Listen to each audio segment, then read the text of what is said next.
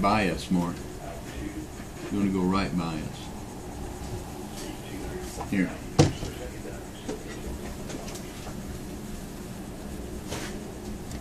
Today was